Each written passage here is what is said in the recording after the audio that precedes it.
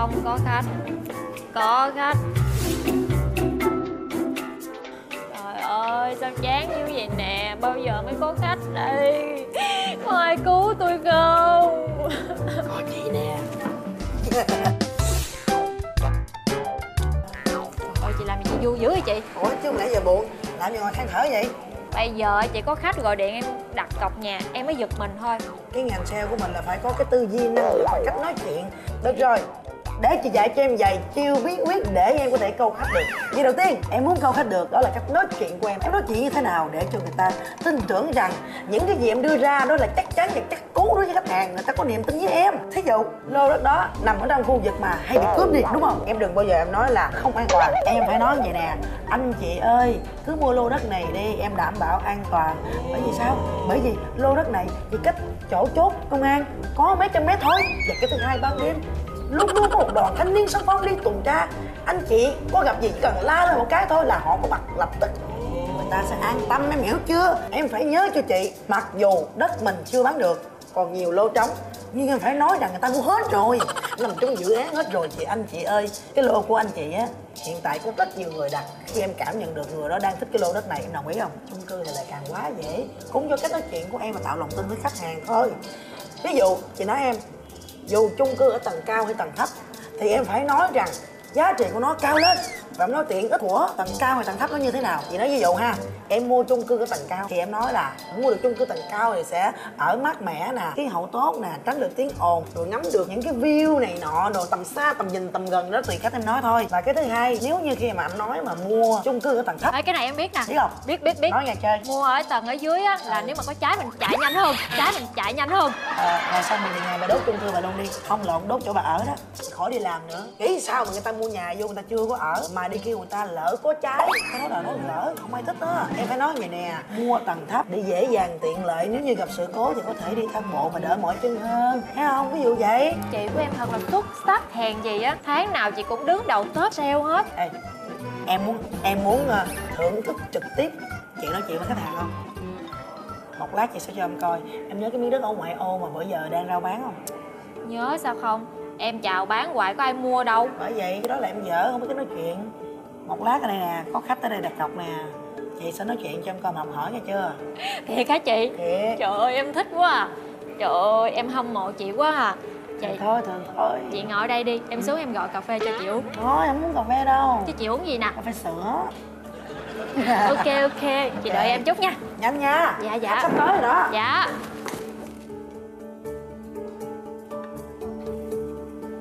chị. Ủa anh thịnh. Ờ, ngồi anh ngồi anh. Dạ dạ chị chị chị ơi. để em tự nhiên. Trời sao anh tới sớm quá vậy? À tại ờ, em đi công việc gần đây tiện ờ, ghé sớm rồi xong sớm rồi mình ờ, kết thúc sớm. Hay quá. Vậy thôi à, mình à, vô vấn đề mình bàn luôn ha. Dạ. Vậy à, hôm bữa em nói với anh cái lô đất đó anh thấy làm sao? À, em Sao thật anh? sự là chỗ đó nó nó, nó em anh? thấy nó nó nó vắng quá chị ạ. Không anh ơi anh em nói cho anh nghe nè. Anh mua đất anh phải nhìn cái tầm xa đúng không cái tầm xa bây giờ á có lẽ là chỗ đó nó vắng thiệt. Nhưng mà sau này á người ta mua đất sẽ có người ở nhiều lên. Với lại hả 10 năm 20 năm nữa hả cái lô đất của anh nó sẽ độ lên tiền tỷ cho anh coi. Nó không thua gì Singapore hay Hồng Kông đâu. Thật sự là nhìn cái chỗ đó em cũng nhìn tầm xa rồi đó. Thật sự là em không có nhiều tiền.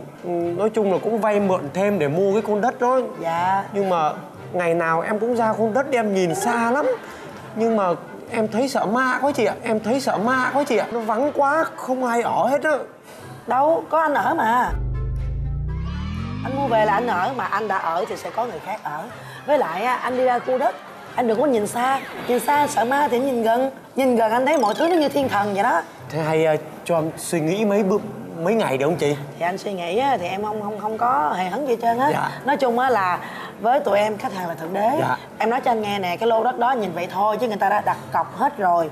Và chỉ còn duy nhất một cái lô này em mới để dành cho anh. Cái lô đất của anh á hiện tại là đang trong cái tầm ngắm của rất là nhiều người tại vì phong thủy của nó rất là tốt cho nên á anh suy nghĩ thì là em chỉ là tư vấn cho anh để anh cảm thấy là cảm giác là anh về đó anh sẽ phong thủy tốt hơn. Dạ. cho nên em mới mới ưu tiên em mới à, thôi thúc anh. Chứ còn rất là nhiều người muốn muốn muốn muốn muốn mua miếng đất đó anh ơi.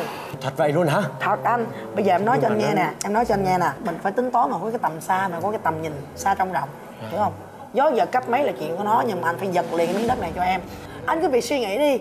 Em nói cho anh nghe là em có điện thoại em chị cứ tự nhiên ạ Em- anh anh chờ em xíu em, em nghe điện thoại khách hàng cái cái miếng nó vắng quá ta dạ alo em nghe chị dạ đúng rồi công ty bất động sản vip à dạ sao à cái miếng đất ở ngoại ô hả dạ dạ dạ chị sao chị muốn đặt cọc liền hả anh ơi anh ơi chết rồi người ta đang muốn đặt cọc không Muốn không đặt không cọc không đó. không Dạ sao không không không không không không không không để để em để em chị ơi chị ơi à, mà em xin hỏi chị nha. Bây giờ cái miếng đất này á cũng có một người, người tới đây đặt cọc rồi.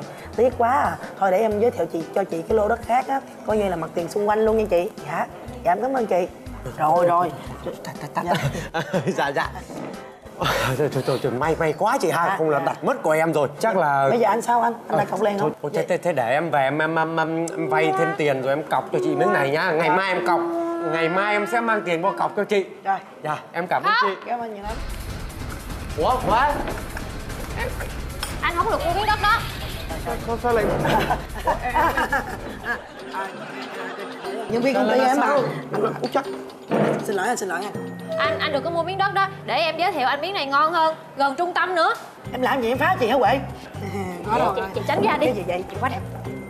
Anh anh đừng có mua miếng đất đó. Miếng đất đó nó hẻo lắm. Không có ai mua hết á quệ nói chuyện sao? trời ơi miếng đất nó rất là an toàn nó gần chốt công an thiệt mà. Không có an toàn gì hết á. Chốt công an chưa có xây. Em là bạn gái anh không lẽ em lừa anh hả? Anh có biết cái khu đó đó là không có ai mua chỉ rau cái năm nay không có ai thèm mua luôn. Ủa vậy, vậy là là, là đây đây là lừa đảo nữa hả? Trời ơi bên đấy mà chị nói là chỉ còn đúng một căn để bán cho anh không đó rồi cái gì bắt anh nhìn xa trông rộng là phải phải nhìn thật là xa rồi cái gì đó. Đúng mà miếng đất nó đang rẻ lắm anh. Mấy một, một khoảng độ, độ chừng một mười năm 20 năm hoặc là mấy chục năm nữa có khi là nó sẽ thành. Chị? Gì? Chị lừa bạn trai em hả? Ủa mà em cũng làm chung công ty này hả? Dạ đúng rồi nhân viên đó nhân viên của em đó. Trời, em nghỉ công ty này ngay đi. Không anh không nhìn mặt em nữa đâu. À, à. còn chị nữa. Từ bây giờ đừng nhìn mặt tôi nữa. Anh anh anh thịnh Ca- căng căng dữ ta anh giận em rồi kìa. Bạn trai thì phải đưa hình cho người ta biết chị người ta né. Thôi được rồi để chị bù cho cái cái lô này á nhà hai mặt tiền lắm ngon lắm. Lô nào nữa? Là nghĩa trang á. Chị giỡn mặt với em hả? Không có dọn là bùng binh được không mình làm ăn mà. Khó quá à. nghe nè. Sao anh? Gì? Anh mua miếng đất rồi hả? Trời ơi trời ơi em có nói em nói ra cái miếng đất là không có được mua rồi. Đất đó là đất, trời ơi, đất đó là đất tào lao. Đất đó là phong thủy của tốt. Ai? Ai tư vấn anh cái miếng đất đó? Nói cho em đi. Ai? Huệ, nhân viên công ty vip